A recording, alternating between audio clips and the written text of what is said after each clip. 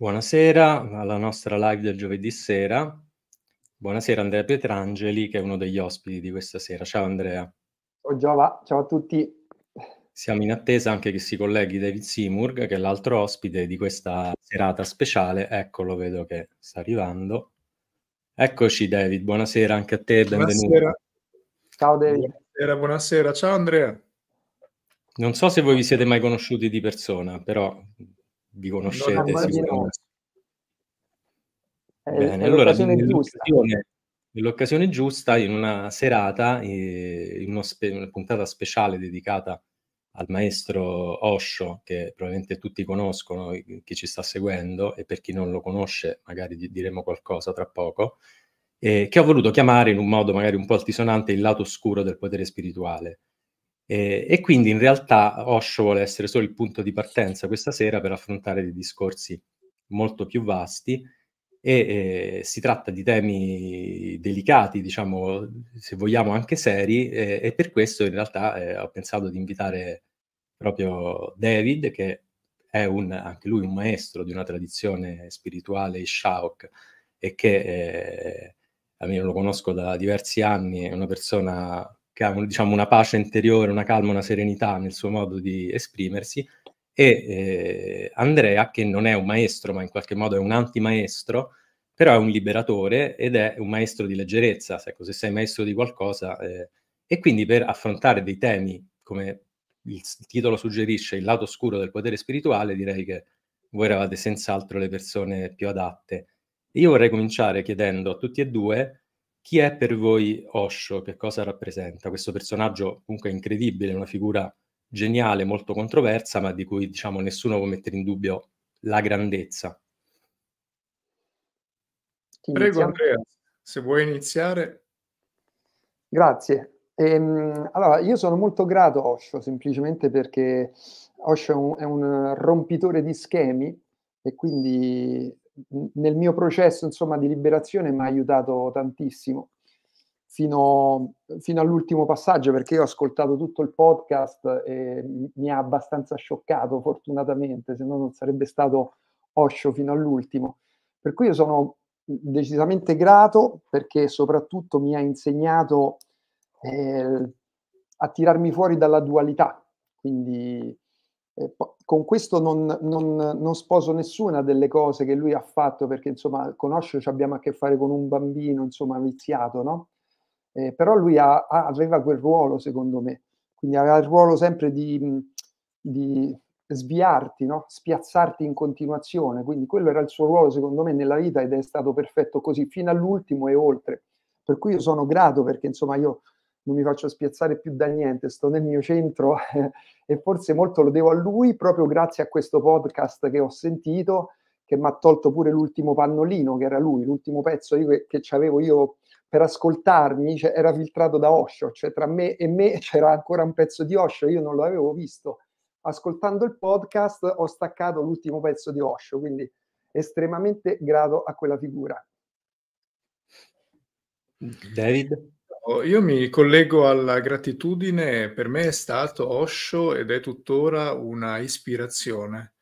Un'ispirazione da tanti punti di vista diversi, un'ispirazione per quanto riguarda le tematiche che affrontava, anche perché Osho nei suoi più di vent'anni di diciamo, esposizione al grande pubblico ha parlato praticamente di tutto e ha detto tutto il contrario di tutto su qualsiasi cosa perché è stato un grande iniziatore dell'Occidente, è il viso che una, un occidentale medio pensa quando pensa alla, all'Oriente e alla spiritualità orientale, perché è stato un grande cavaliere di un periodo storico che ci ha permesso di essere tutti qui in qualche modo, eh, di parlare con tante persone in tanti luoghi diversi, dalle università alle accademie, dalle librerie ai centri olistici, perché è stato un grande iniziatore di una fase storica, o quantomeno ne è stato il baluardo forse finale, perché nel Novecento è stata una delle ultime grandi figure di quel tipo di spiritualità, e poi perché è stata un'ispirazione anche nella creazione di un movimento di un'organizzazione, almeno tentata, con tutti i suoi, limiti, e ne parleremo questa sera, con tutti i suoi esperimenti, che mettesse insieme la spiritualità tradizionale, quella che stava nei templi, quella che stava nelle, nei circoli iniziatici di poche persone, di pochi mistici, verso una spiritualità che cercava invece di parlare alla grande massa, alle grandi, grandi movimenti sociali. Quindi un, un'ispirazione da tutti i punti di vista per quanto mi riguarda. Allora, io mi volevo aggiungere al coro, diciamo, della gratitudine verso Osho perché anch'io, diciamo, qualche anno fa l'ho incontrato più profondamente dopo aver letto magari da giovane alcuni dei suoi libri, che poi ricordiamo non sono libri scritti, sono trascrizioni di conferenze. E, e, e, poi attraverso i suoi video e soprattutto nel mio caso, come penso per molte persone, attraverso il documentario Wild Wild Country su Netflix, che ha mostrato eh, aspetti che io non conoscevo della vicenda di Osho e che l'ha resa ancora più avvincente anche nei, nei suoi aspetti più assurdi, sorprendenti e folli. E, e tanto che appunto Spazio Interiore eh, recentemente ha pubblicato questo libro di cui vi mostro la copertina, Wild Wild Guru, che è la storia narrata da un Sannyasin che era diciamo molto vicino eh, ad Osho, non era nella sua cerchia ristretta diciamo di controllo, ma era eh, il direttore del, della rivista mh, che si stampava in Oregon, nella comunità in Oregon, era nell'ufficio stampa di Osho e quindi ha seguito tutta la vicenda per lunghi anni e in questo libro lui anche fa un'analisi molto interessante, non, non parla anche diciamo de, delle, delle, cose oscure, delle vicende di Osho, delle leggende, perché poi ci sono soprattutto tante leggende, quando ci sono personaggi così immensi, le leggende fanno parte proprio del, della, non, non ci si può esimere. E, e, quindi diciamo, io personalmente sono stato appunto, grato, anche in, ricordo molti momenti della mia vita in cui leggere le parole di Osho, ascoltare i suoi discorsi erano come un carburante di positività. Ho avuto il privilegio di fare alcune meditazioni dinamiche che ho trovato estremamente utili, quindi veramente è un personaggio che la sapeva lunga, aveva compreso delle cose importanti, era bravo a comunicarle e, e, quindi tutto meraviglioso fino a quando, nel mio caso, adesso parlo eh, diciamo della, della, mia storia personale con questo podcast di cui accennava Andrea, qualche mese fa una cara amica Nadine, che saluto, mi consiglia caldamente di ascoltare questo podcast di cui vi mostro la copertina. Si chiama Dragon Lady, della bravissima giornalista Roberta Lippi, in cui praticamente eh, ritrova um, Diksha, che era un, una delle donne per molti anni della cerchia ristretta di Osho, con ruoli di potere molto importanti, simili a quelli che poteva avere Sheila, molto più famosa perché protagonista del documentario di Netflix. E eh, non aveva mai parlato questa donna e eh, adesso ha più di 80 anni e decide di parlare e racconta in questo lungo podcast in sei puntate, quindi si tratta veramente di sei ore di, di racconti, e noi non è che adesso possiamo raccontare tutto quello che viene detto nel podcast, quindi anzi invitiamo le persone interessate, al, al, di là di quello che diremo in questa live, di andarsi a informare ascoltando il podcast, ma anche leggendo i libri di Osho, ascoltando i suoi video e, e prendendo più informazioni possibili. E, e quindi io questa mia amica mi dice, in questo podcast eh, vengono raccontati dei retroscena veramente spaventosi, agghiaccianti rispetto a chi era Osho veramente. Il mio primo pensiero è stato, ma sarà la classica dinamica della persona che si vuole vendicare, che magari finisce male un rapporto d'amore anche con un maestro e come spesso si vede accadere, penso anche nelle stesse relazioni di coppia, no? quando qualcosa finisce male si passa alla vendetta, alla menzogna, si calunnia. Quindi ho pensato che fosse solo questo. Ascoltando il podcast un po' mi sono dovuto ricredere perché ho sentito comunque una sincerità nel racconto di questa donna, no? E anche nel suo mettersi in gioco perché appunto nell'ammettere anche, diciamo, delle cose non belle di cui era stata complice. E, e quindi questo, venire a sapere questi retroscena, pur non potendo dire che sono veri, perché la verità la sa solo chi magari ha, ha partecipato veramente alle cose, no? Però mh, l'ho trovate comunque verosimili nel, rispetto a tutto quello che racconta. E quindi questa, questa cosa mi ha suscitato una serie di domande e mi ha messo anche un po' in crisi, perché se come avere un caro amico, il tuo migliore amico con cui ti sei amato per anni, che ti ha sostenuto in momenti difficili, che ti ha insegnato tante cose, e a un certo punto vieni a sapere che quello stesso amico magari ha fatto delle nefandezze o delle cose che per te sono eticamente inaccettabili, e il che non, non sminuisce la verità di quell'amore che c'era, però ovviamente cambia un po' la prospettiva. E, e, quindi, pur sapendo appunto che Osho, tutto quello che ha detto David e che ha detto Andrea, è un personaggio che questi scherzi li fa, io credo che lui appunto sarebbe contento di questa serata perché eh, appunto ci sta mettendo tutti in crisi in modo diverso. E per iniziare a parlarne, io vorrei far sentire un pezzo del podcast, eh, ho preparato vari spezzoni, poi avremo anche degli interventi di due sannyasin che diranno il loro punto di vista.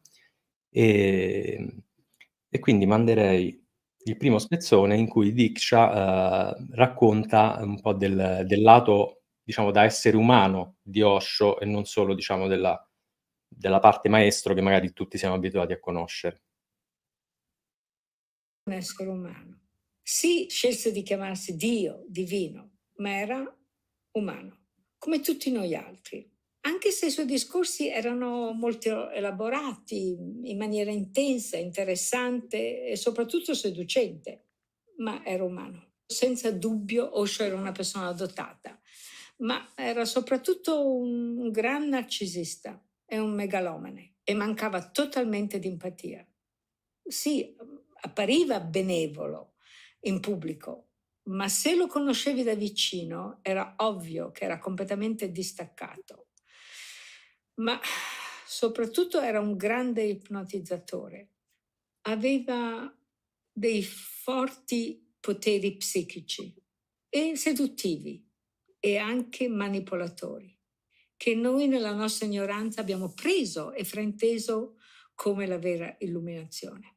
La domanda che mi sono posta anche da giovane era cos'è l'illuminazione? Col tempo ho riflettuto a questo concetto e per me chiaramente l'illuminazione non significa ferire le persone. L'illuminazione non è manipolare le persone, non è sfruttarle, né sessualmente, né finanziariamente, né psicologicamente, né emotivamente. Questo non è illuminazione.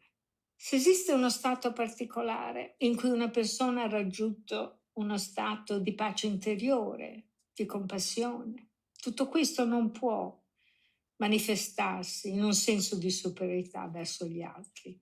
Cioè, a mio avviso, essere illuminati non include approfittarsi di altre persone. E purtroppo la mia esperienza con Osho Rajneesh mi ha mostrato, tristemente devo dire, come lui si è approfittato di, dei suoi allievi. Quindi, anche se era un uomo dotato, anche se aveva la capacità di trasmettere energia, Shaktipat, come si dice in, in India, non aveva il diritto di sfruttare i discepoli, sia finanziariamente che sessualmente, come lui ha fatto. E nonostante che sia vero che in sua presenza le persone hanno detto che si sono sentite inondate di amore, che sono sentite euforiche, questo non doveva usarlo per assoggettare i suoi discepoli a soddisfare i suoi desideri materiali.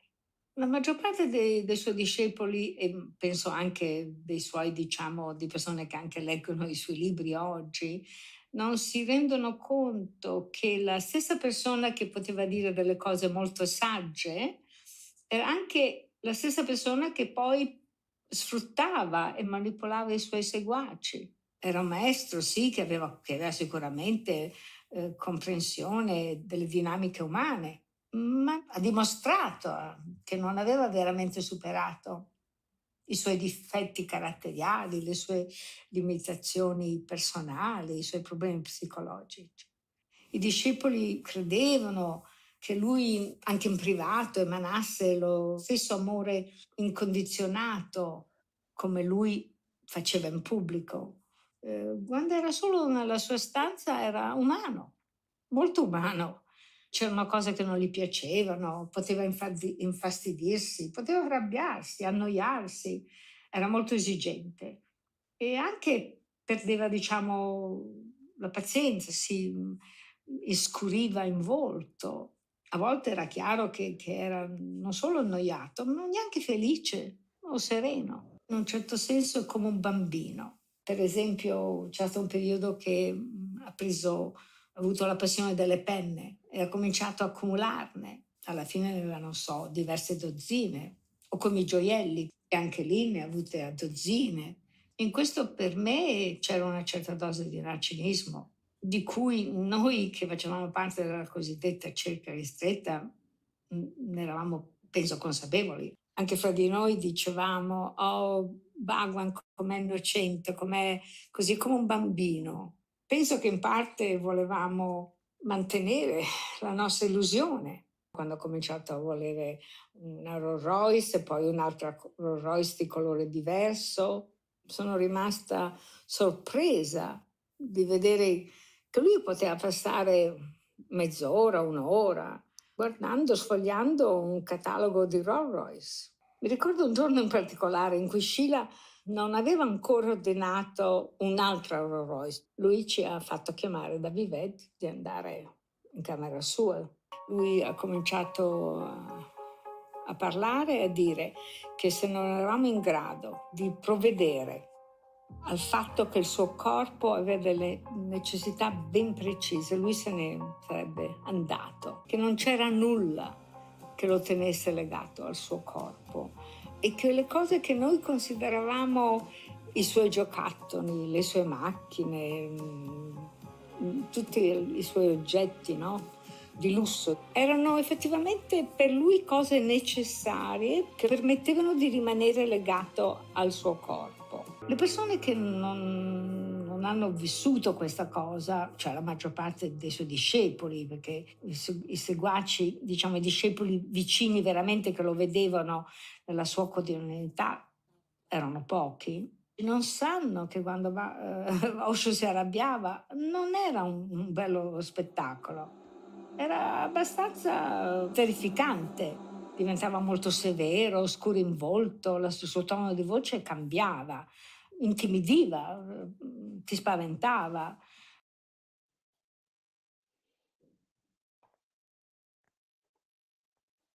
Non ti sento. Sono solo io che non... Ah, ecco. Sì, sì. Abbiamo sentito qualche spezzone quindi di questo podcast e, e diciamo, per, a me la cosa che ha scioccato eh, quando l'ho ascoltato la prima volta è così rendermi conto che in qualche modo anche una figura come Osho, che io forse diciamo avevo idealizzato o che comunque avevo preso come punto di riferimento, eh, avesse, fosse abitato diciamo dalle stesse passioni o dalle stessi demoni con cui abbiamo a che fare tutti noi, no? Quindi la sede di potere o di denaro o di sesso, la vanità, il narcisismo, la megalomania. E quindi diciamo questo aspetto, pur sapendo no, eh, come lui si mostrava, no? però diciamo non l'avevo mai, sentendolo raccontare da una persona che, insomma, che, che gli era così vicino, ammesso che sia vero, eh, perché questo dovrà, essere sempre chiarito, noi non, non sappiamo né ci interessa cioè non, non, questa serata non è un processo a Osho, un voler demonizzarlo, non c'entra nulla chiedersi se è vero o non è vero tutto questo, però vedere che cosa queste cose hanno mosso dentro di noi. Quindi la prima domanda che volevo fare a entrambi, inizierei da David, ci può essere una differenza così grande tra quello che un maestro dice in pubblico, scrive sui libri e il modo in cui vive la sua esperienza umana, le sue relazioni anche nell'aspetto privato? Ossia, un vero maestro può essere ipocrita? Un chiunque, un chiunque potrebbe provare ad avere molte facce diverse, ma una qualunque persona, un qualunque individuo, più sta sotto i riflettori, più condivide se stesso la sua vita e più facilmente verranno viste tutte le sfaccettature, come è accaduto anche a Osho sia mentre era in vita che adesso dopo la morte. Tutti sappiamo, e Osho l'ha detto molto bene, che andare sotto i riflettori significa essere visti e guardati con estrema attenzione. Ogni dettaglio viene sottolineato, viene impresso nella memoria delle persone o di uno scritto o di un registrato e viene riletto, interpretato, parafrasato. Quindi chiunque potrebbe provare, potrebbe provare ad essere ipocrita, a dire una cosa e farne un'altra, o a essere una cosa e parlarne diversamente, ma non ci riuscirebbe per molto tempo. E la cosa bella di Osho è che Osho si contraddiceva anche in pubblico. Noi stiamo parlando di un personaggio che in pubblico diceva il contrario di quello che aveva detto di quello stesso tema una settimana prima e soleva ripetere ai saniasi o a coloro che lo venivano ad ascoltare che non era tanto necessario essere d'accordo con le parole che un maestro diceva, ma con quello che rappresentava. E Osho come simbolo era molto importante, è stato lo è ancora adesso molto importante, però sapete il simbolo è una cosa estremamente potente che poi a un certo punto prende anche la sua strada al di là della persona che lo crea. Quindi, come dice anche Diksha in uno di questi episodi, di queste puntate, Osho è sempre stato Osho, ha sempre avuto le qualità dall'inizio alla fine che ha dimostrato, ma il simbolo di Osho a un certo punto è diventato per molti qualcosa di più di quello che lui stesso eh, avrebbe forse immaginato all'inizio. È diventato l'esempio del divino, per esempio. Quando lo stesso Osho guardava all'obiettivo del suo lavoro chiamandolo Zorba il Buddha, e immaginando che un essere umano avesse la possibilità di diventare sì illuminato e rappresentante della divinità che è in tutte le cose, ma mantenendo fortemente l'amore verso la materia, per esempio. Osho ha criticato estremamente, enormemente, tutti i maestri che l'hanno preceduto e che hanno guardato alla povertà come una virtù, per esempio, all'isolamento degli asceti, alla non violenza di Gandhi, e pensava che l'obiettivo non fosse quello di essere coerenti sempre, ma di essere dei rappresentanti di qualcosa di importante.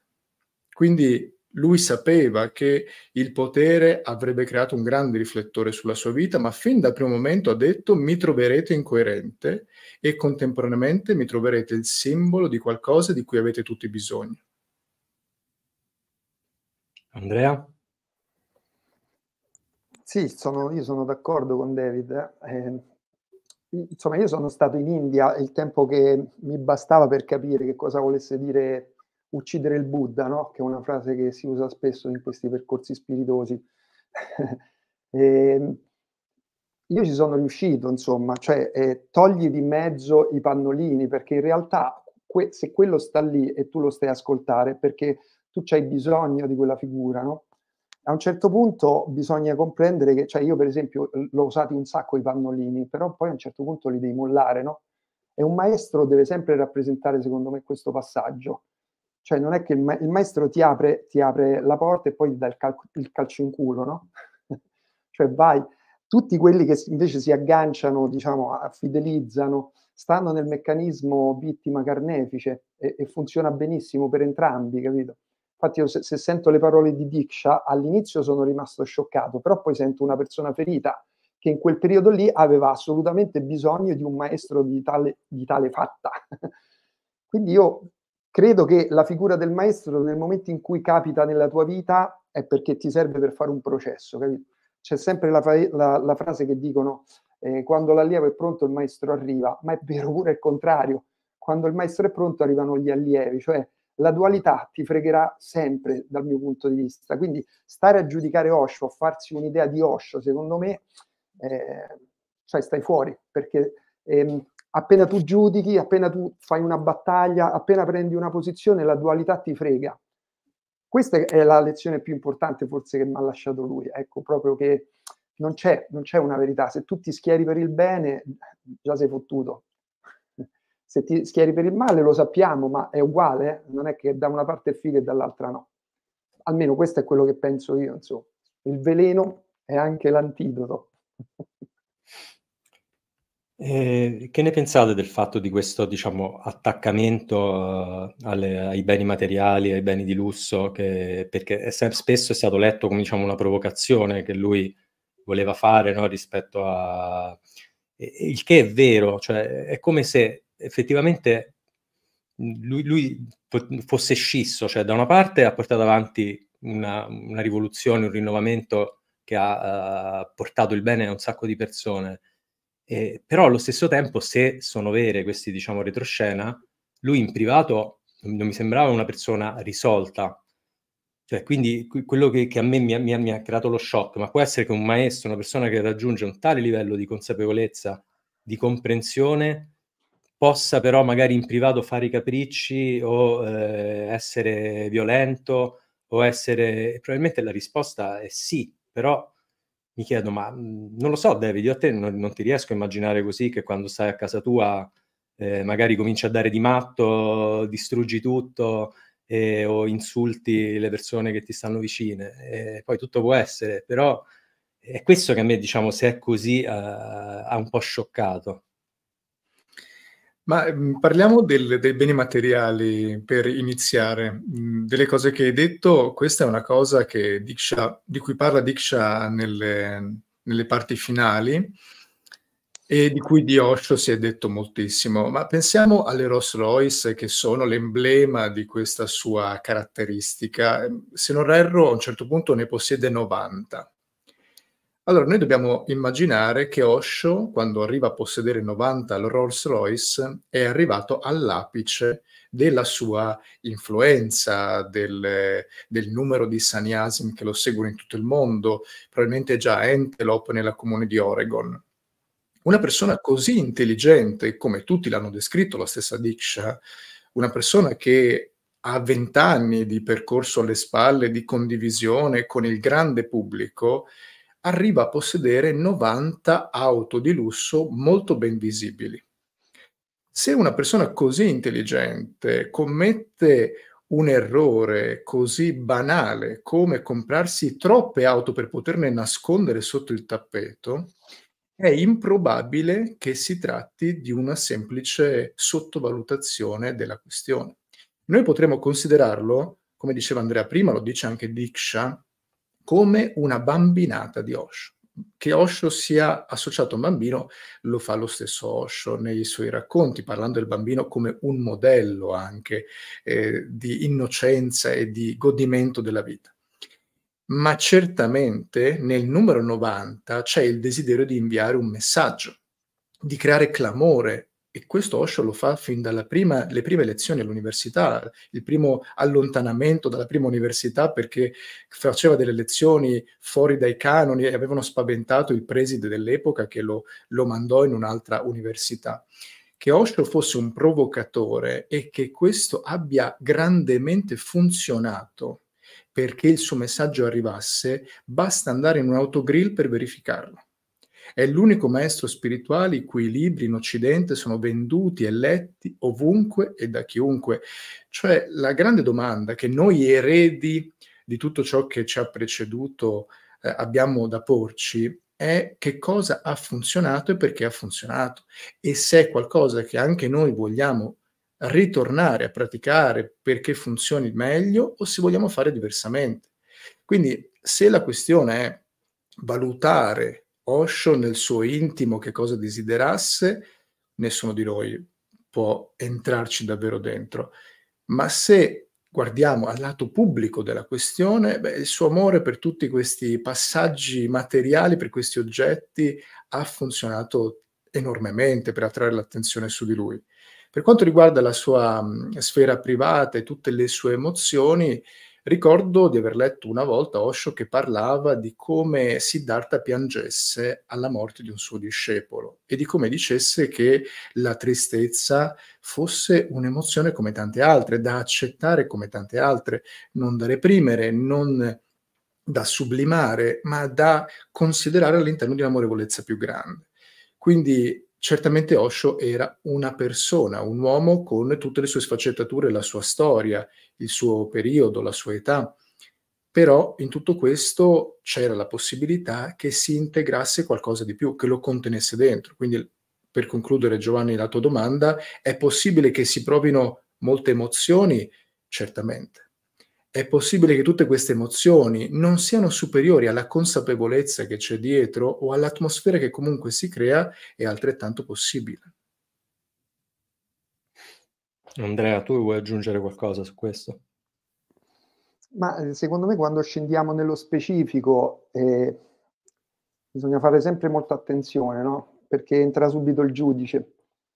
Eh, io, ho, io, parlo sempre di me, io ho fatto un mazzo così per allontanarmi dalla dualità, quindi hanno tutti ragione, per cui cioè, per me io non vedo, io vedo solo capolavoro in tutta questa storia, non vedo roba terribile, neanche quando ho sentito insomma, che abbandonava i bambini oppure aveva fatto la lista nera per, per insomma, segnalare delle persone no, che non erano gradite, chiaramente c'era molto altro dietro.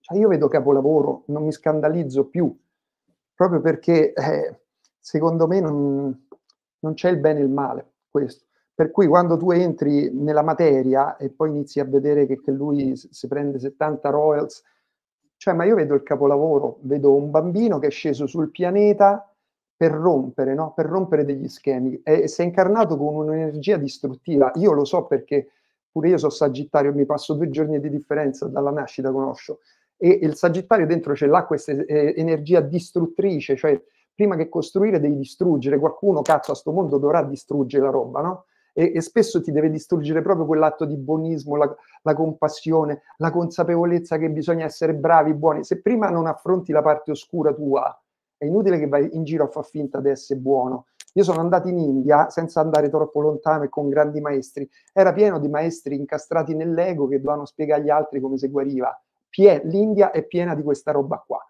capito? Di mascherate, di gente, e poi devono fare, quelli devono fare un, un percorso da soli, con i loro, loro mostri interiori, e, e devi andare dentro. Quindi è inutile che mostri fuori cosa, cioè arrivi al potere, che cazzo ci fai col potere? Non ci fai niente, il potere ti mangia e ti distrugge. E tu lo vedi sempre come muore un maestro, quello che si, che quello che si attira, no? Quindi guarda come è morto Osho e vedi un attimo quello che si è attirato e quello che ha professato durante la vita. Lì capisci tutto, no? La dualità è una figata, ma ti uccide sempre. Quindi spesso sono to- solo grosse parole, tipo c'era pure Sai Baba, che ne so, Sai Baba che manifestava la Vibhuti, poi l'hanno beccato che c'aveva la polverina e lui gli ha fatto, oh, ma voi non dovete vedere quello che io manifesto, voi dovete sentire, ma, baff- capito? Cioè, il maestro è una finzione, il maestro sei te e bisogna vedere quanto coraggio hai di seguire te, se no crei sempre queste situazioni duali fuori e poi stai lì col ditino a dire, ah vedi, vedi, non è buono, ma che non è buono? Entra nella tua parte oscura, sbrigati, prima della bara entra nella parte oscura. Io ho fatto questo, mi piace raccontare questo e non, non ho nessuna verità, insomma, eh, voglio arrivare alla bara molto leggero, quindi mi sa che la bara manco la vedo. Questi sono tutti pannolini per me. Allora adesso volevo mandare un breve intervento che ci ha mandato Subhuti, che è l'autore del libro citato prima, Wild Wild Guru, che come dicevo è stato molto vicino a Osho per tanti anni e lui ne ha, diciamo comunque, uno di quelli che, che dice che gli ha cambiato la vita. Lui era un giornalista politico di alto livello a Westminster e ha lasciato eh, la sua carriera, diciamo, la sua vita come tanti occidentali per buttarsi in questa avventura eh, durata quasi vent'anni. Quindi sentiamo cosa ha da dirci. Stories are circulating about Osho and his life. Shocking stories, beautiful stories, bizarre stories, and stories that uh, go beyond all of these categories. So if you're interested in the history of Osho and his movement, I can recommend my book, Wild Wild Guru, which covers the period from 1976 in the Pune ashram all the way through to our departure to Oregon, USA and building a city there, and then back to Pune in 1987 and until Osho left his body in 1990. But as we all know, the past is the past. It's of limited value to us here and now in the present. So I want to say this. If you find that Osho's active methods of meditation are helpful to you on your inner journey of exploration, you can trust those methods because they work for you.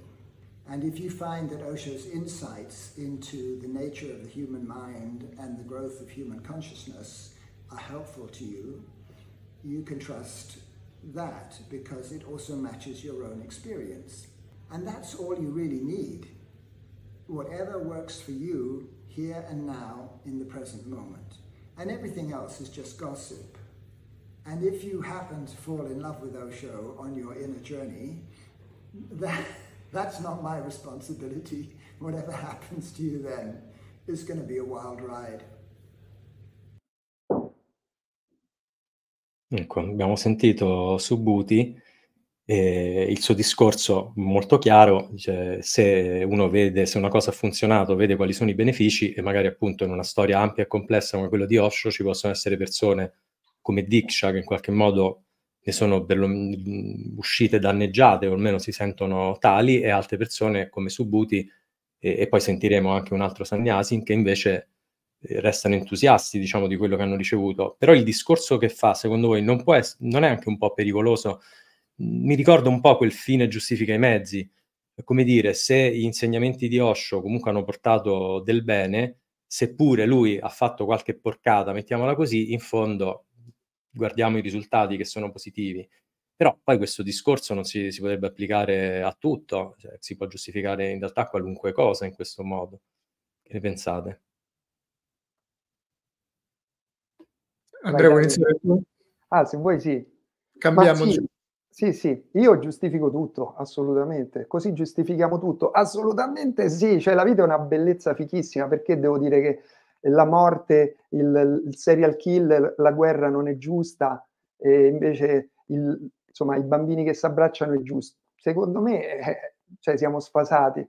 È quando tu riconosci la bellezza della merda che liberamente ti senti equilibrato, secondo me, almeno a me sta succedendo questo, finché, finché guardavo fuori e vedevo delle cose sbagliate, cioè Osho, Osho sei te, capito? Osho non è Osho, bisogna che comprendi che quando rientri lì dentro, tu fai il riassorbimento di tutte le proiezioni, non c'è più Osho lì, quando rientri lì in quella situazione demogano, ci stai solo?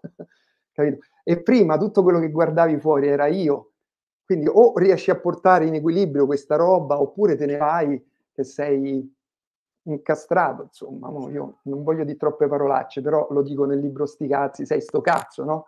Quando te ne vai che hai detto, ah, mi sono fatto un'idea, che ti sei fatto un'idea, cioè, quello, io qui nel libro Stigazzi ho messo una delle due frasi di Osho che, che spiega tutto, ma potrebbe essere chiunque ti dà fastidio nella vita, c'ha quel ruolo lì, chiunque ti dà fastidio, chiunque ti va a toccare una roba.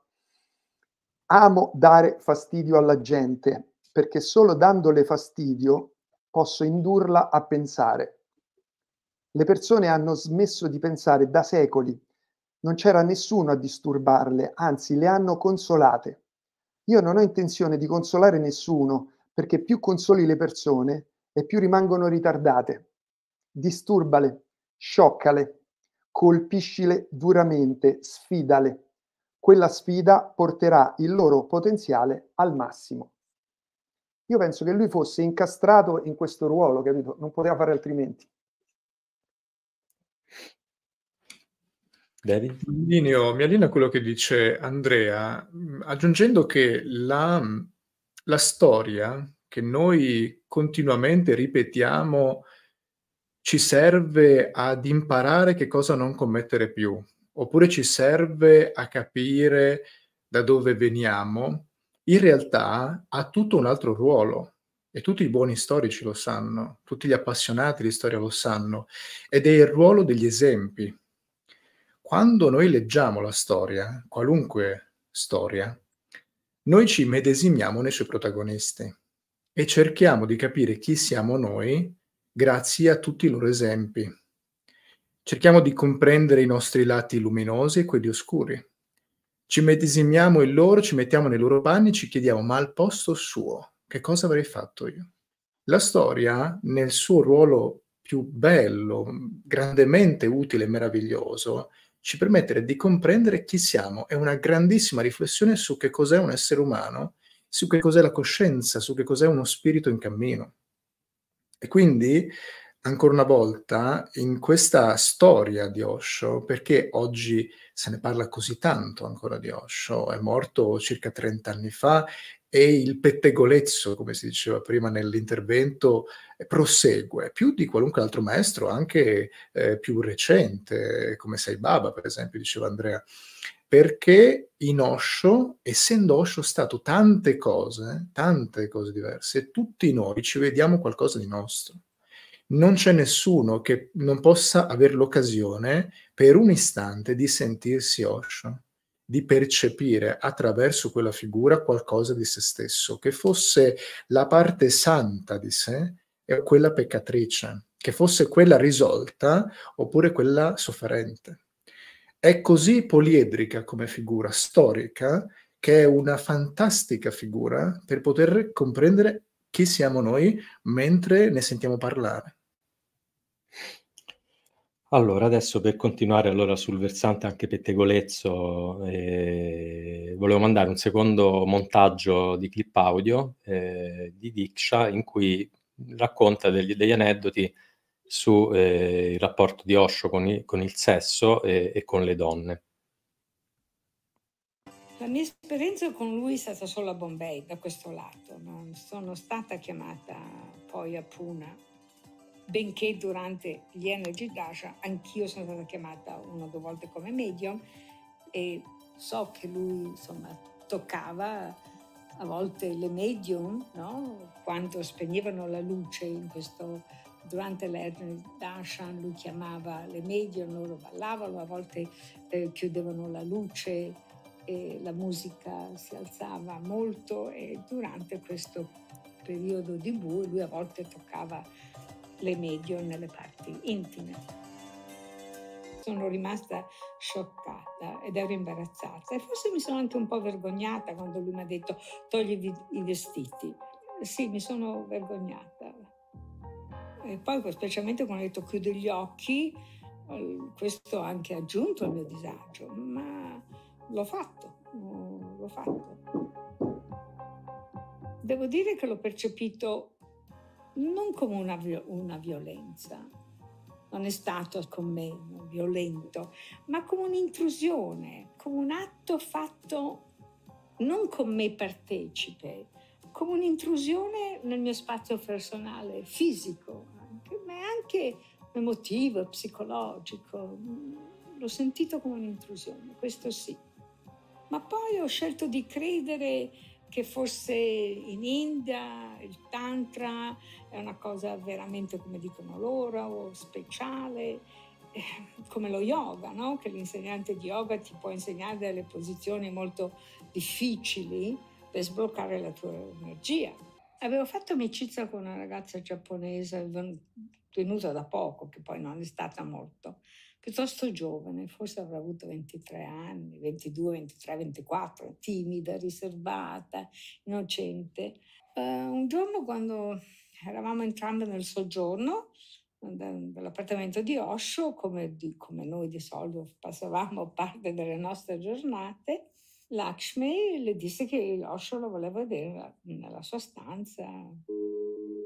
E quando è uscita penso dopo una ventina di minuti più, più o meno, era molto disturbata, era rossa in faccia, aveva qualche segno sul collo, mi è sembrato, era scompigliata, agitata, le tremavano le mani, si è subito seduta sul divano e si vedeva che tratteneva le lacrime, che era, che era agitata.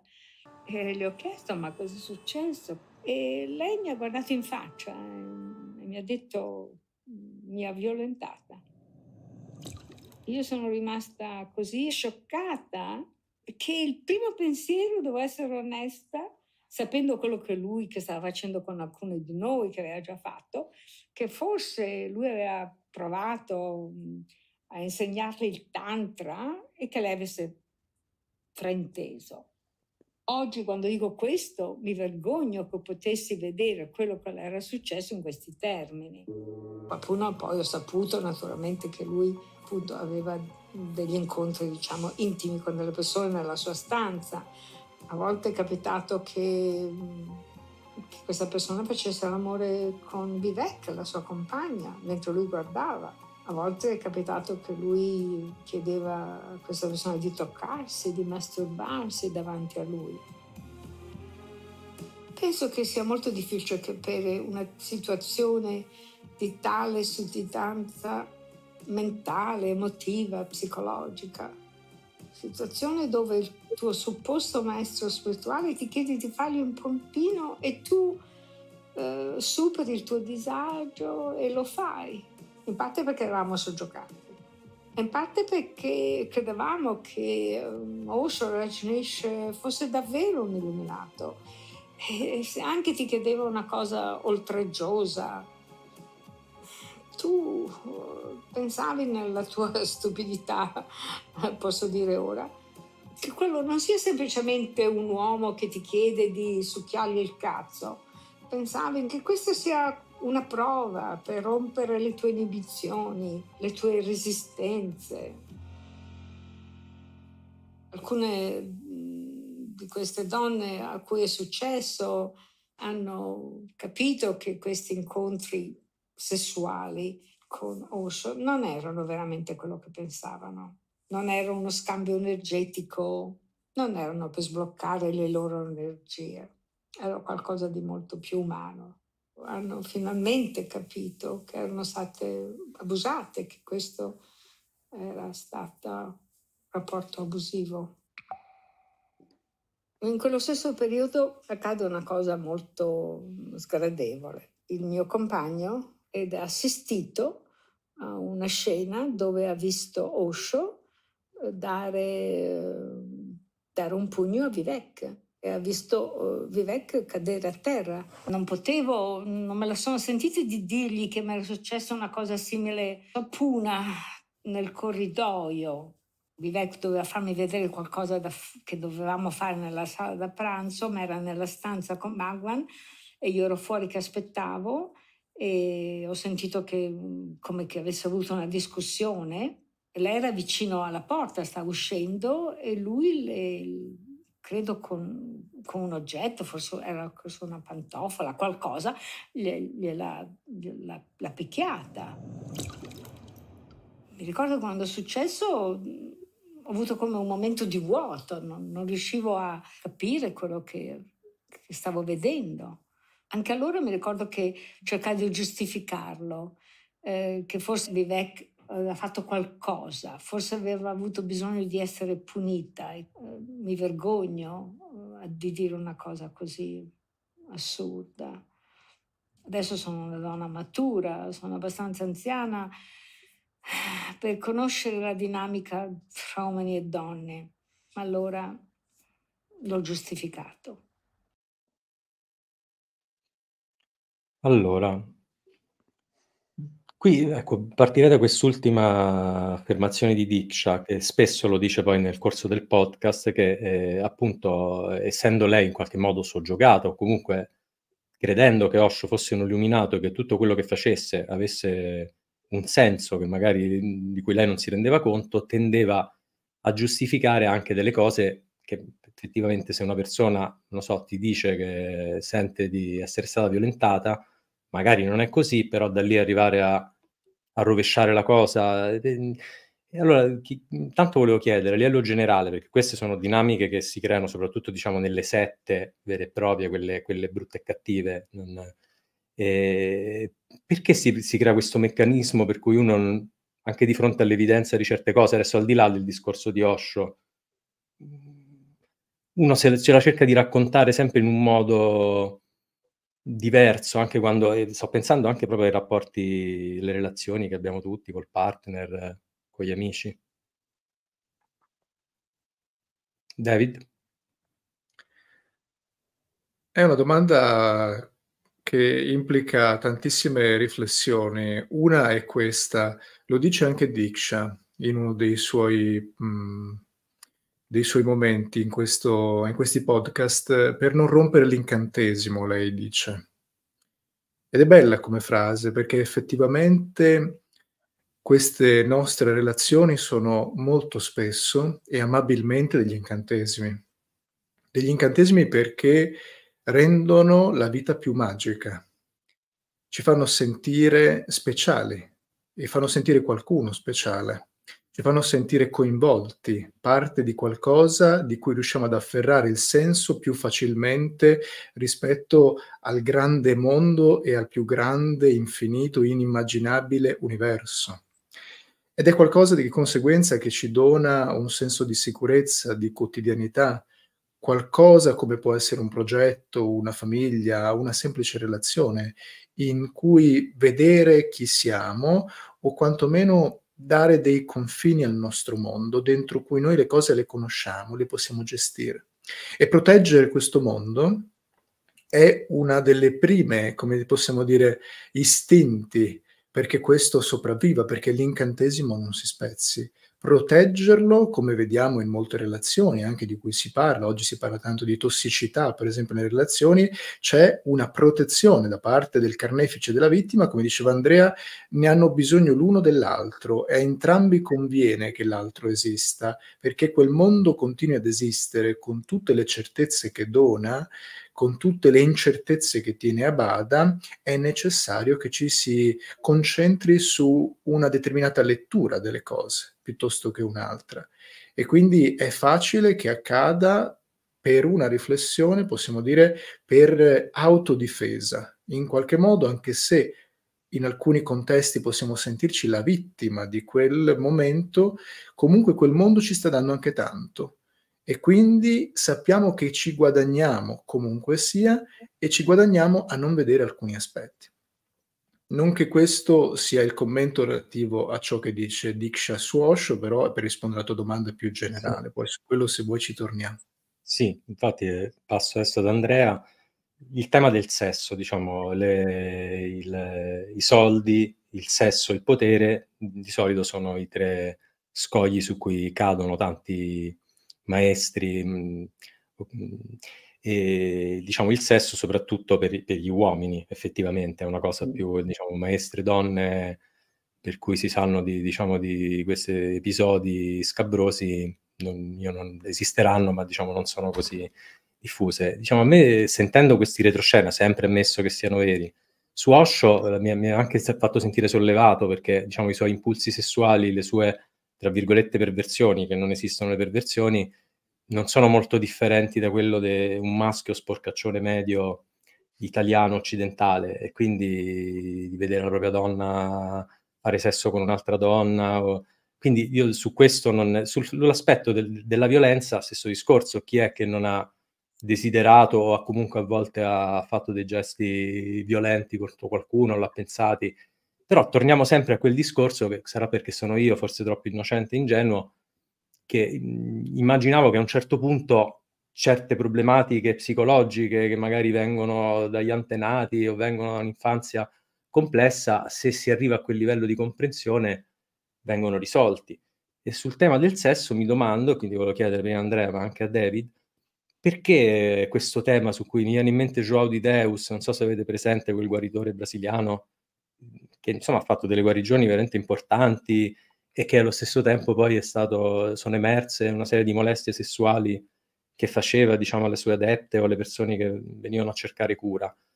Perché c'è sempre questo, questa energia del sesso rischia di andare fuori controllo anche a questi livelli? Andrea? Ma intanto quello che abbiamo sentito in questo racconto, questo racconto succede continuamente. Secondo me, appena appena tocchi il potere, quella è una cosa conseguente, insomma, perché cioè, se lo vedi va, vai a vedere i politici, capito? A, tutta sta robaccia qui accade, cioè lì proprio è il proliferare di questa roba qua, politici, eh, oppure in, nel mondo degli attori, no? del cinema, uguale, stessa cosa. Perché c'è lì dietro un potere, capito? C'è il potere eh, e ci agganci subito questa roba qui. Io ho delle mie idee che sono anche piuttosto fortine in, a riguardo, non, sono argomenti delicati, insomma, mm, ho un'idea molto chiara, insomma, non voglio vedere eh, le cose dal punto di vista dell'ego, della persona carina che va lì, poverina, è entrata dentro la stanza del maestro e quello gli ha buttato, cioè io devo vedere l'anima, capito? E, e, che cerca di raggiungere un equilibrio. Quindi se tu sei bravo, buono, gentile, non fai del male a nessuno, tu stai già manifestando il mostro che arriva e, e proprio ti fa delle robacce terribili. Capito? Come il terremoto che arriva sempre nei paesi più poveri, dove questi sono tutti bravi, buoni, fanno del male. Regà, stiamo in una dualità, ma quando cazzarola l'apri, eh, apri gli occhi? Quindi dice contro la violenza sulle donne, ma che dite? Stai buono, che vai contro, che già la crei più fai manifestazioni contro la violenza sulle donne, più nella tua realtà crei quelle situazioni. Bisogna che impariamo a comprendere il potere, capito? Il potere vero, se no scade. Il, il, potere vero è comprendere che io sto in una dualità e voglio solo tirarmene fuori e andare nella leggerezza. Se no rimani incastrato nel potere e quindi vai negli istinti primari, vai nel, nel, nell'animale, no? Che devi fare? Pappa, cacca, nanna e, e, e, trom- e. Queste, queste cose istinti basilari che ti incastrano e va bene, cioè va bene, ci puoi mettere pure 18 vite dal mio punto di vista, puoi violentare donne per 18 vite, la diciannovesima ti renderai conto che era una dualità, oppure per 18 vite scendi giù e ti violentano, capito? Una volta sei la donna che viene violentata, una volta sei l'uomo mite che al lavoro se ne approfittano tutti, non cambia, non cambia il percorso che quell'anima deve fare di liberazione dalla dualità, andare nella leggerezza. Quindi per me scendere troppo nello specifico io non ci riesco su questa roba qua. Mi voglio tenere su, alto, guardare le cose dall'alto e vedere il capolavoro della scuola. David, tu che vuoi dire su questo tema appunto del sesso come tentazione su cui molti cadono, non solo nell'ambiente spirituale, ma in generale? Faccio una considerazione più orizzontale di quella di Andrea, però complementare, eh, perché il denaro, il sesso e il potere è qualcosa che tutti vogliono e che reprimono il più delle volte o proiettano su altri. Eh, denaro, sesso e potere sono nella considerazione nostra più istintiva eh, tre vie di affermazione il sesso di affermazione biologica e per la continuazione della specie, per il proliferare di se stessi nel futuro. Il denaro di proliferazione sociale, di considerazione sociale, di affermazione di chi sono io in questo mondo. E poi il grande completamento è la considerazione che poi gli altri di conseguenza mi danno e la figura che io manterrò eh, nella capacità di plasmare il mondo come lo desidero, che è il, la grande definizione di potere. E tutti desiderano questi tre aspetti in una qualche forma. Eh, però Osho lo dice molto bene, viviamo in una società dove contemporaneamente tutti lo vogliono e contemporaneamente si considerano moralmente sbagliati a volerlo e a pretenderlo o a raggiungerlo quell'obiettivo. E quindi accadono una serie di meccanismi per cui eh, si guarda con invidia chi ci riesce e contemporaneamente si spera che fallisca per non sentirsi eh, minori, per avere la sensazione che tutto sommato ad accontentarsi si vive una vita migliore. Eh, che non ci sia stato il fallimento e dall'altra parte invece il successo. E quindi sono tre elementi basilari perché l'umanità continua a guardare verso di loro come forme di affermazione di se stessa. Ce ne sarebbe un altro che cita un poco Andrea eh, e che è un potere però interiore di osservazione, comprensione, amorevolezza e realizzazione in un senso più intimo, in un senso più animico. E quel tipo di realizzazione è, guardiamo il gioco, il grande gioco di questo, è qualcosa che, per esempio, Osho, come tanti maestri, pone come grande obiettivo di un percorso umano. E viene odiato anche per questo. Diventa come un quarto elemento, per cui tu, Osho, eh, hai raggiunto allora il sesso, eh, il denaro, il potere sociale e hai anche avuto il diritto di raggiungere il potere spirituale. Curiosamente, anche quella che in realtà sarebbe come un'alternativa o ancora meglio una radice più sana per, per questa nostra umanità, va ad aggiungersi alle altre nella considerazione collettiva e quindi verso quel personaggio aumentano le proiezioni e aumenta anche l'odio. Allora, volevo mandare adesso l'intervento che ci ha mandato l'amico Satvat, che è uno scrittore, un artista visivo, un arte terapeuta, ha pubblicato anche un libro con spazio interiore, Riprendiamoci l'anima, e che è Sagnasi da tantissimi anni, e quindi lui, uno di quelli che gli insegnamenti di Osho, diciamo, li ha incarnati provato a incarnare nella sua vita, e l'avevo invitato, ma non poteva partecipare questa sera, e quindi ci ha mandato comunque un video col suo punto di vista su Osho e sulla questione. Namaste. Per chi come me ha seguito Osho come maestro, l'ha riconosciuto, ha riconosciuto la grandezza del suo insegnamento e l'ha incarnato e si è risvegliato in esso, ecco che il dubbio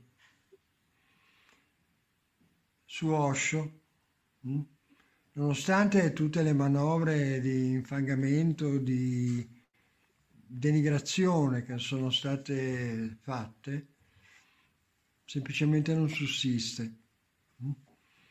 E anche un dibattito su questo trovo che sia inutile perché la verità non ha bisogno di essere dimostrata, di essere difesa, è autoevidente mm?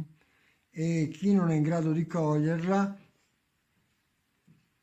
è un suo affare.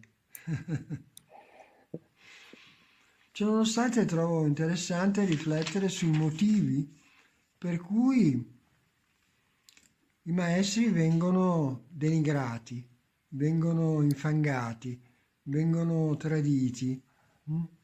e ovviamente sempre a causa delle ossessioni della mente ego che non può ammettere un insegnamento di verità semplicemente perché in quell'insegnamento la mente ego è destinata a scomparire. Allora, il primo motivo, che è sicuramente il più innocente, è quello di una mancanza di, di comprensione. Eh, per cui la mente non è in grado di comprendere il vero, eh, è soggetta alle sue interpretazioni che sono, che sono sempre fallaci. E effettivamente l'insegnamento di un maestro è comprensibile solamente da un maestro. Per cui abbiamo molti esempi di maestri paradossali come maestri zen, come ehm, moltissimi altri esempi potrebbero essere fatti su questo, che risultano incomprensibili a una lettura non profondamente iniziatica. C'è per esempio la figura del Kidr nel sufismo, che è il maestro verde, che eh, si comporta in modi inafferrabili dalla mente. Può sembrare un ladro, un assassino e solamente alla fine delle storie viene chiarito il significato iniziatico, eh, comprendendo che non c'è stato nessun crimine, ma è stato piuttosto un'espressione di compassione. Mm? Sono storie per lo più paradossali che mostrano però questa verità, il fatto che l'insegnamento di un maestro non può essere compreso dalla mente. E, um, c'è una storia in cui un cavaliere vede in un prato un uomo e, e vede che un serpente gli entra nella bocca aperta. Quell'uomo sta dormendo, non si accorge di nulla e quindi lui deve intervenire immediatamente, scende da cavallo, lo bastona, lo costringe a mangiare delle mele guaste. L'uomo non capisce, non, non può capire e eh, si lamenta. Solamente quando vomita e vomita quel serpente velenoso e lo vede, allora capisce l'importanza di quell'intervento così eh, estremo. Mm? Ma i motivi non sono solamente l'incomprensione, ci sono anche motivi di gelosia, di rivalità, come per esempio ehm, il, quella del, um, di un uh, cugino di Buddha che dopo aver seguito l'insegnamento diventa un acerrimo nemico di Buddha. Eh, ci sono tante implicazioni, tante sfaccettature sul perché un maestro viene denigrato, viene eh, infangato. Eh, dobbiamo dire che l'ego gode nel, ehm, nel rifiutare, nel trovare motivi per rifiutare un insegnamento, semplicemente perché in quell'insegnamento verrebbe distrutto. Eh, molto spesso eh, queste storie eh, sono il risultato di una storia d'amore fallita, in cui si è mancata la verità, si è mancato di unirsi a quell'amore universale. Per cui, come nelle storie terrene degli amanti, ecco che si inventano storie per giustificarsi, per darsi un motivo. Eh?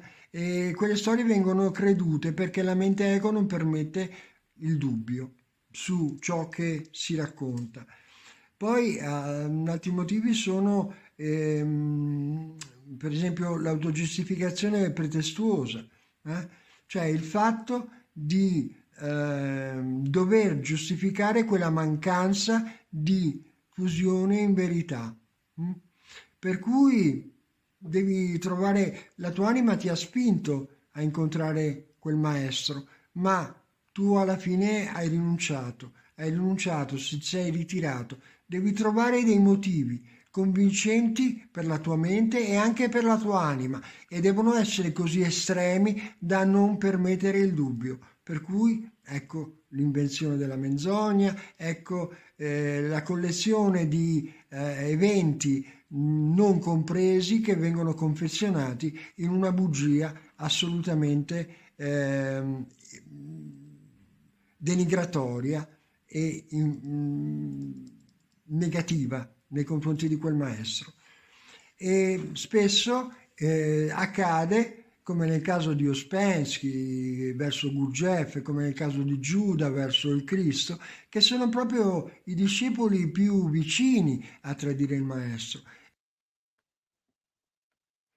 Ecco, allora abbiamo sentito il punto di vista di Sattvat che rovescia un po', apre un altro argomento molto interessante. Lui appunto non, eh, non crede, diciamo, alle, ai, pettegolezzi e, e, ritiene che spesso, come appunto fa, cita da, da, quello più importante dal caso di Gesù Cristo, diciamo spesso i maestri rivoluzionari eh, che hanno cercato effettivamente di cambiare le cose sono stati poi denigrati, traditi anche dalle persone che avevano vicino e, e questo obiettivamente è una dinamica che può accadere. Voi che ne pensate in generale su questo aspetto e poi rispetto alla, a Osho? David? Io ho conosciuto un uh, bramino, un caro amico che anche tu poi Giovanni hai incontrato nelle nostre serate romane e che mi disse una volta è molto più facile essere allievi di un maestro morto che di un maestro vivo. Oggi sono tutti allievi di Siddhartha e di Gesù semplicemente perché Siddhartha e Gesù non possono più bacchettarlo, bacchettarli come avrebbero fatto in vita. Dobbiamo immaginare che la figura di un maestro è sempre stata la figura di un uomo che spesso per primo, per quanto riguarda il suo tempo, è stato la punta di diamante di un movimento di coscienza verso un qualche tipo di cambiamento. Quasi niente noi ce lo inventiamo, Siddhartha non ha inventato nulla, Gesù non ha inventato nulla. Eh, hanno preso la loro tradizione, l'eredità che arrivava, la necessità che arrivava da tutte le generazioni che li avevano preceduti e sono riusciti a veicolarle in un simbolo, in un messaggio che più volte è stato potente soprattutto dopo la loro morte. Dobbiamo immaginare e ricordare spesso, e lo dico sottolineandolo soprattutto in Italia, eh, che Gesù è stato un maestro scomodissimo per coloro che l'hanno seguito che Gesù chiedeva di lasciare le loro famiglie, di lasciare il loro lavoro, di lasciare tutto e di andare con lui o di andare poi per lui e di morire per questo. Se oggi Gesù ci fosse, probabilmente non lo seguiremmo o lo considereremmo più folle di quanto stiamo considerando Osho questa sera. Non esiste maestro, lo si diceva nell'intervento di prima, che non sia stato di conseguenza poi considerato eh, un folle anche tra coloro che lo hanno accompagnato. Però è questa la figura di un maestro, in qualche modo, di qualcuno, tornando a prima, che può essere poi esempio nella storia per chi necessitasse di sentire che rompere gli schemi si può, che rompere gli schemi ci fa bene, che quello che scopriamo di noi è che siamo sempre più grandi del mondo che ci sta contenendo e della maschera che portiamo indosso.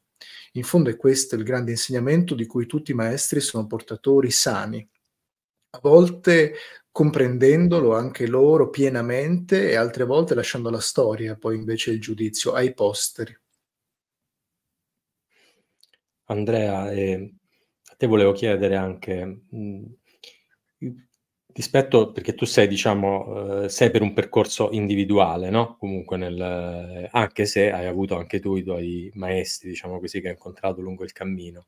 Però anche nel discorso di Sattvat sembra che eh, se, se, vuoi realizzare un rapporto profondo maestro-discepolo, bisogna arrendersi in qualche modo, che è una cosa su cui spesso Osho ritornava, e, e, quindi abbandonare ogni logica, ogni ragionamento, perché appunto vengono dalla mente egoica e quindi non è credibile. E, però c'è sempre il discorso, tutto questo va bene se ti trovi davanti veramente un, un maestro che vuole il tuo bene. Ti, quando viene chiesto, come ha fatto Gesù ai suoi discepoli, eh, di lasciare le famiglie, lasciare tutto, lasciare i propri percorsi individuali, magari perseguire però quella che è la visione di un'altra persona, magari pure illuminata, magari pure il profeta. Però eh, tu come la vedi Andrea? Cioè, tu, tu lo faresti se penso... Gesù arrivasse oggi e ti dice molla tutto e seguimi? No, no, ma proprio no, ma chi te. No, no, proprio no. Io penso che ti devi fidare di te, cioè, ripeto, il maestro è un pannolino, è un passaggio, capito? Una volta che comprendi quel... Se non comprendi quel passaggio, il maestro poi ti schiaccia. Io ci sono stato in India, ragazzi, e cioè, mi sono messo lì a grattare dei bastoncini sulla statua del Buddha, capito? Ore e ore e ore e ore e ore a non fare niente, capito? A fare una pappetta, dovevo riempire un secchio così, capito? Un secchio così e, e tu facevi sta pappetta alla fine di un giorno avevi fatto tanto così. Quello ti serve ad annullare l'ego, no? Quindi un maestro per me da questo punto di vista è un acceleratore, va molto bene. Il problema è che tutti i maestri hanno, sono duali, quindi si arrogano questo diritto, no? che loro sanno, Osho è uno di quelli, è un sapone, no? ha letto talmente tanto, ha una biblioteca gigantesca, io penso che quando tu leggi tanto poi diventi schiavo di quel potere lì e sembra che quello che tu dici è la verità, per me non è così. Ok, quindi qualunque maestro ti dica qualcosa ti sta servendo a te per un passaggio, sbriga ad andare oltre, secondo me questa è la mia visione. E a contattare sempre di più la fiducia che tu ritrovi in te, nel tuo bambino, perché prima è solo ferita. Quindi se tu non guarisci la ferita, un maestro ti dovrà ferire. E questo poi parliamo, stiamo parlando di India, però sti cazzi dell'India. Io sto a Roma eh, per dire, io vedo l'altro sera c'è stato il concerto di Renato Zero. Renato Zero è un idolo, per tanti è un maestro, no? Eppure ha iniziato a maltrattare la gente. È pieno di gente che sta pubblicando sui social tutti incazzati con Renato Zero. Ma quello è, la, è lo stesso meccanismo, capito? Ti deve ti deve deludere. Se non ti delude, non ha fatto bene eh, il suo lavoro. Oppure io sono della Roma, a me mi piace la Roma perché io se, se sono amore non è che sto a giudicare se è calcio o se è la setta o se è la religione o se è la, la medicina. A me mi piace la Roma, ok? E c'è stato un allenatore che si chiama Murigno che ha fatto quello che ha fatto Osho, cioè ha, mm, come ti posso dire, è diventato un, un prestigiatore, no? Per tante persone ferite. Quindi a un certo punto ha dovuto tradire una parte della tifoseria, si è sentita tradita, e un'altra era talmente attaccata a Murigno che ancora stanno lì a piagne. Tutti i bambini feriti, entrambi. Perché? Perché c'hai un punto di riferimento, no? Riferimento. Quindi io, ripeto, io la voglio guardare alla lontana perché il mio percorso in vent'anni è stato piano piano di uccidere tutte queste robe esterne di fidarmi dei miei passi. Ok, quando invece tu ancora ti fidi dell'esterno, purtroppo se non stai proprio in equilibrio e non sei centrato, ti continui a creare quella roba che va lì a toccarti la ferita, il fastidio, l'ingiustizia. E poi non ci credo, insomma, che ti serve un maestro, ecco, fondamentalmente. a una certa devi avere coraggio di camminare da solo, dai. allora, io volevo mandare un altro clip che è, diciamo, il, il punto clou su cui appunto quello che poi ha ispirato il titolo dello speciale in cui Diksha diciamo, racconta altri retroscena o leggende o pettegolezzi sul rapporto di Osho con il potere. Questo. particolare mi convocò, mi disse che aveva già insegnato a Sheila e voleva farmelo sapere, l'arte di manovrare le persone, dicendo che questa è una delle, delle arti più grandi eh, nel mondo. Mi disse che se conosci questa arte, cioè l'arte di manipolare le persone, puoi fare in modo che le persone facciano ciò che tu vuoi, ciò che tu hai bisogno. E questo mi aveva turbato perché lui aveva detto delle cose che io ho percepito già allora pericolose, cioè cose che non facevano parte del mio rapporto, diciamo, spirituale, da, di allieva. Una delle cose che mi disse che aveva insegnato a Sheila è che bisogna sempre accusare il nemico di quello che tu gli fai. Che mentre quando stai facendo qualcosa agli altri, devi accusargli esattamente di fare questa cosa che tu fai a loro. Mi spiegò che la persona, diciamo, media resta così scioccata, sorpresa di essere accusata di ciò che sta ricevendo in quel momento, che lo shock la fa sembrare colpevole mi ha anche detto che eh, aveva spiegato a Sheila che per imparare a mentire, la cosa più importante è che bisogna credere alla propria bugia. Sì, io credo che lui sia stato sicuramente un bravo lettore di pensiero. Infatti quella sera quando lui parlò dei segreti per manipolare le persone, aggiunse che ogni persona ha un prezzo e che bisognava scoprire qual è il prezzo per quale le persone si vendono. Spiegò che ognuno di noi si vende per qualcosa di diverso. Non è che tutti si venderebbero per i soldi o fama o per il sesso, perché ognuno ha qualcosa che lui giudica importante per vendersi. E mi ricordo che disse che la prima regola è capire che la maggior parte delle persone non sanno il loro prezzo. È venuta una sera, una sera dopo cena, è stato un incontro segreto. Vivek è venuto a chiamarmi dicendo di non dirlo a Sheila e che lui voleva vedermi dopo cena.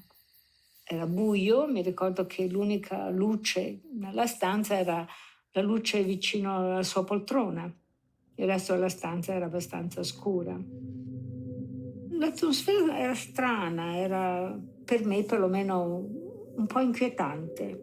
E lui stesso aveva un atteggiamento diverso. E quando mi parlò, mi parlò quasi come se stesse confidando con me.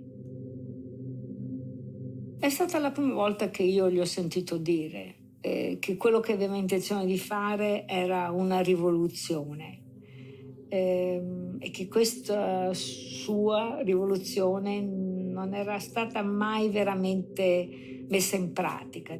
Quello che stava cercando è di creare un profondo cambiamento nell'umanità.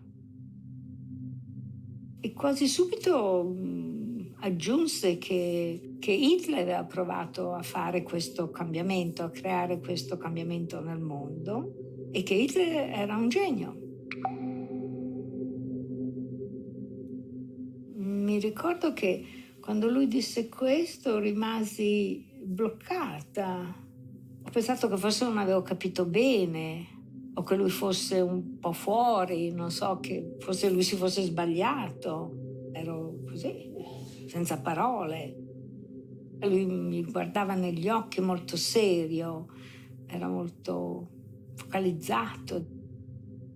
Vide la mia confusione e disse no, no, Hitler è, è stato un genio, che Hitler era stato frainteso, eh, che Hitler ha cercato di creare un cambiamento nell'umanità.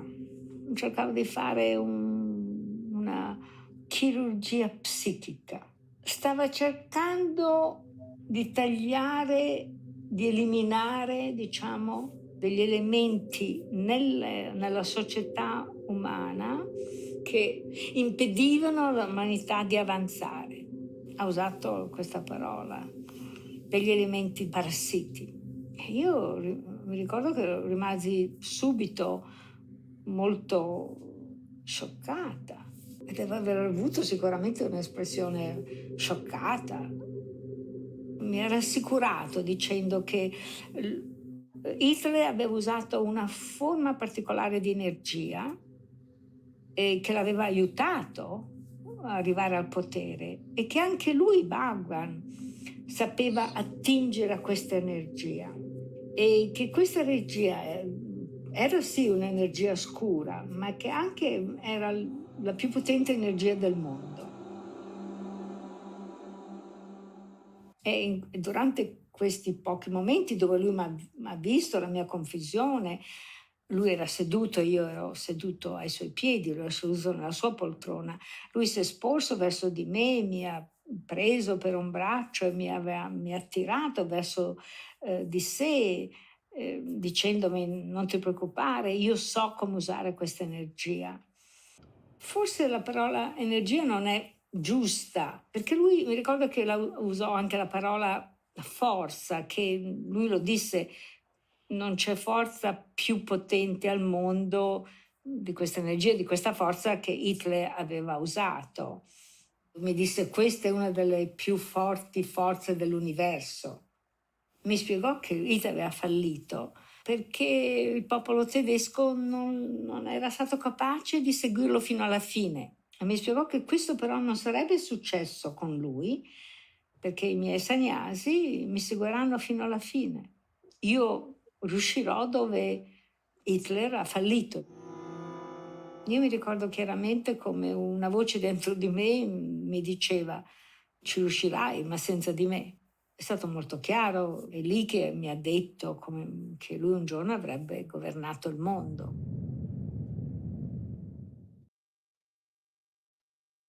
Ecco.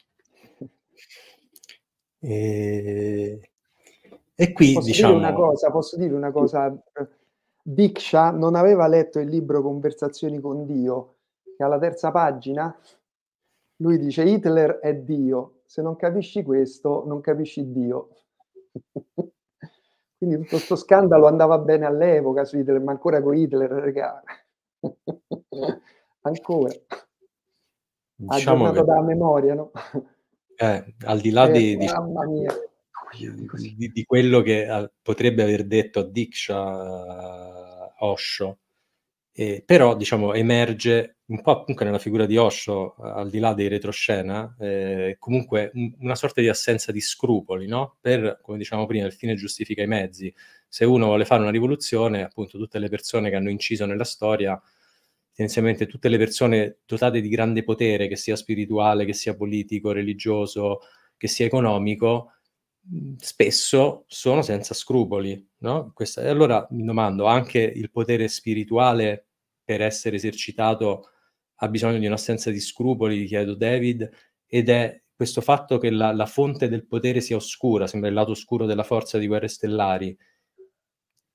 A me un po' ha risuonato, devo dire, in qualche modo, perché vedendo comunque le energie che guidano il mondo, eh, cioè il, potere, quello vero, effettivamente non mi sembra così luminoso. Ma mh, cito una leva che è una leva che tutti noi conosciamo e che è una leva che la politica utilizza da sempre e che muove molte più persone dell'amore o della consapevolezza o del successo o della pace o della fratellanza, che è il risentimento. Il risentimento è una leva potentissima potremmo definirla una delle forze più grandi per quanto riguarda la coscienza collettiva e il suo movimento, per quanto riguarda almeno l'umanità attuale, eh, che chiunque avesse potere, volendo muovere milioni di persone, potrebbe usare subito e ci riuscirebbe con grande facilità, molta più facilità di tante altre leve invece. Quindi eh, in questa considerazione Osho dice la verità esistono eh, temi, esistono emozioni, esistono movimenti dentro ciascun individuo e dentro la grande massa che possano, possono facilmente muovere tantissimo e creare tantissimo. Certo, il grande problema di questo sono poi eh, è il giorno dopo, se vogliamo parlare da un punto di vista storico. E questa, guardate, è una di quelle, di quelle questioni che, per quanto mi riguarda, rendono interessante oggi parlare di Osho. Come detto, per conoscere chi siamo, certamente da un punto di vista individuale, però anche, come dicevo prima, per cogliere la sua eredità e chiederci noi che cosa stiamo facendo, di simile, di diverso, se stiamo facendo qualcosa. Osho è riuscito con i suoi modi, con la sua personalità, con i suoi simboli, con le sue leve e le sue tecniche e la sua consapevolezza a muovere effettivamente tra gli anni 70 e la fine degli anni 80 eh, diverse migliaia di persone. Lui a un certo punto parla di un milione di sannyasin nel mondo. Oggi sicuramente sarebbero di più perché i suoi libri sono arrivati ovunque. Però Osho lascia anche da un punto di vista di una eredità organizzata, qualcosa di molto frammentato. Oggi la sensazione relativa, per esempio, alla visione sulle comuni, che dovevano rappresentare l'alternativa alle città, ai grandi agglomerati urbani, eh, la sensazione legata a quella che era l'unione di stati che lui professava, così come molti altri eh, prima di lui, Aurobindo per esempio, o Krishnamurti, sono tutte cose che Osho non è riuscito a realizzare, che si prefiggeva in vita di realizzare, che non è riuscito a realizzare neanche con la sua fama dopo la morte anzi la frammentarietà di ciò che ha lasciato anche nei discepoli che gli erano più vicini ha creato molte cose che oggi usano il nome di Osho ma che non sono più riferite esattamente a quella persona lì. E guardate, per quanto mi riguarda, questo è un tema davvero interessante, eh, che si potrebbe rifare anche su Gurdjieff, eh, così come su tantissimi altri maestri o, rap- o leader di qualsiasi genere. Cioè, in vita possiamo usare moltissimi strumenti per richiamare l'attenzione, l'interesse della grande collettività. Però poi, come diceva Andrea, è grandemente necessario un interesse sulla vera guarigione dell'individuo, intanto, perché se consideriamo la massa fine a se stessa, non raggiungeremo mai alcun altro eh, piano futuro che non sia già quello in cui siamo adesso. E l'insieme di quegli individui, se noi usiamo delle leve che dominano sul dolore, come per esempio il risentimento, a un certo punto, utilizzandoli loro stessi, non potranno che rimanere più o meno quelli che sono attualmente. E quindi in qualche modo poi l'eredità che lasceremmo anche dopo un grandissimo successo e aver raggiunto in vita magari uno straordinario potere sarebbe forse come quella di Osho o come quella di Hitler curiosamente mettendoli nella stessa frase c'è un'eredità eh, storica simbolica ma frammentata da un punto di vista dell'umanità che vogliamo veramente essere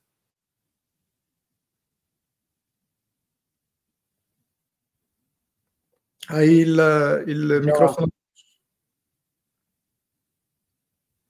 Cioè, ad Andrea volevo chiedere, eh, questo tema della, diciamo, del lato oscuro della forza, mh, mm, pensando anche ad altre figure, prima ho già citato Joe di Deus, me ne vengono in mente altri, ho visto recentemente un documentario su israeliani su Netflix, è come se molte di queste persone estremamente dotate, anche geniali, che hanno una serie di capacità, abilità o hanno delle visioni o sono dei profeti, iniziano eh, in un certo modo e poi appunto come sappiamo anche Gesù è stato tentato nel deserto e a un certo punto, come dire, questa forza è talmente potente che sembra vincere in molti casi, no?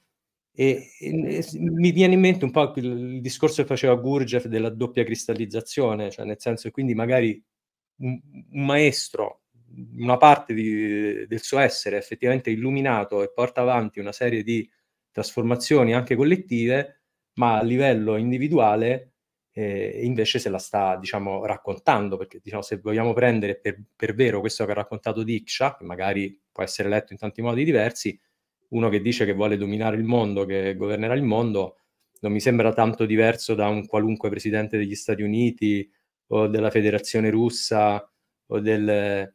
Eh, e quindi non lo so, per me eh, resta appunto la, la, forse la genialità di questa incomprensibilità e del fatto che crea comunque fastidio, crea domande e quindi è la grandezza di Osho ce lo vedo, però mi chiedo come... Quindi Andrea, tu che ne, che ne, pensi di questo lato oscuro? Cioè ci si perde sulla via perché quando si, ci si avvicina al potere, quello vero, o oh, anche i 5 Stelle sono arrivati in Parlamento con le migliori eh, certo. intenzioni, sono stati spazzati via poi da, da questo lato oscuro. Ma eh, per me, cioè, quando c'è grande luce c'è pure grande ombra, ovvio, quindi lì quell'anima sta facendo un grande lavoro, ovviamente. Eh, che ti dico sul potere? Io non è che ho tutte le risposte pronte, però noi stiamo in un'epoca social dove tutti vogliono potere, cioè lo vedi, eh, secondo me stiamo in un'accelerazione gigantesca grazie ai social, perché cerchiamo di comprendere che qualunque cosa tu fai, anche nel bene più assoluto, dietro c'è una convenienza, capito? Allora, secondo me bisogna smascherare questo, perché oggi tutti nel nostro piccolo abbiamo un potere nella nostra realtà. Bisogna vedere come lo usi, a tutti viene dato questo potere. Quindi devi prima di tutto smascherare la, la, convenienza, cosa che non poteva fare Osho, ma perché non era proprio epoca, cioè lui aveva un altro ruolo secondo me. Molto bello vedere le epoche, capito? Nelle, cioè, stiamo parlando di un'epoca dove quella roba lì era perfetta per quella roba lì vittima carnefice, oggi è diventato eh, follower influencer, non è più vittima carnefice, è follower influencer. Fino a che non decidi a seguirti, crei sempre queste entità esterne, non ascolti il corpo, crei un potere esterno che è la medicina. Eh, non, ascolti il tuo potere, crei un potere esterno che sono i politici. Non ascolti il tuo Dio interiore, non hai il coraggio di sentire la parte di Dio che puoi far vedere al mondo, crei i preti. Cioè, ragazzi, è tutta finzione fuori, è una grande illusione. Cioè, quando appena prendi posizione stai nella grande illusione. Non è vero niente di questa roba qui. Stai nella tua coscienza, stai nella tua famiglia, perché poi tutta sta gente qua, io ci sono cascato pure io all'inizio, che Osho parlava male della famiglia. Calma ragazzi, cioè la famiglia è la sfida che hai scelto. Tutta sta gente che scappava e andava in India, scappavano dai genitori, capito? Magari andavano lì a cercare l'illuminazione di sto ca e invece non riuscivano manco a dare un abbraccio alla madre, che è quello che, che va fatto prima di tutto, assorbire tutti i mostri della famiglia.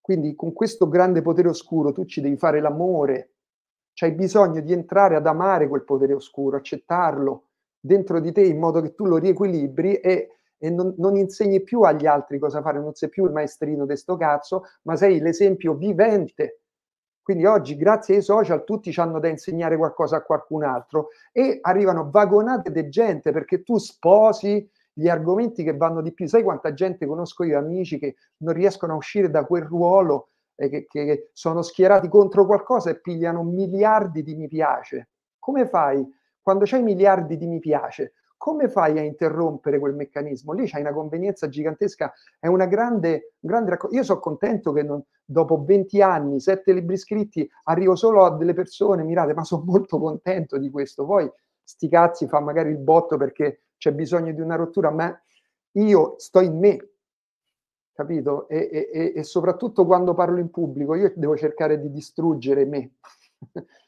capito? Non ti devo far vedere il, bra- il, bravo, si fa così, io sono compassionevole, de che io, io, sono brutto e bello, dipende da quello che scegli tu e da come stai tu in questo momento, capito? Quindi io lo sento così, per me il maestro vero è la gatta di stasera, è tutta la vita, capito?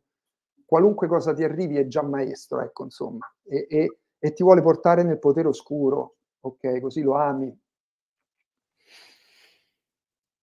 Bene, io direi siamo arrivati in chiusura, mhmm, anche se ci sarebbero ancora tante cose di cui Eh. parlare, però, ehm, abbiamo esaurito il nostro tempo. Volevo appunto chiedere a David una una sua riflessione finale su appunto questa storia e tanto io volevo ringraziare, a parte Osho, che appunto ci ha ci ha permesso anche stasera di fare delle riflessioni, eccolo qua, rivediamolo, così, e ringraziare anche questa donna che comunque eh, io ho trovato veramente molto coraggioso, molto bello il viaggio in cui mi ha accompagnato, eh, poi appunto ognuno può, può, giudicare il suo racconto come vuole e farsi la sua idea, quindi io di, di, me stesso mi sono anche domandato se io in qualche modo sono stato così colpito, diciamo, da questi lati privati disdicevoli di Osho, eh, forse perché appunto c'è qualcosa in me che mi, mi, mi tocca su questo.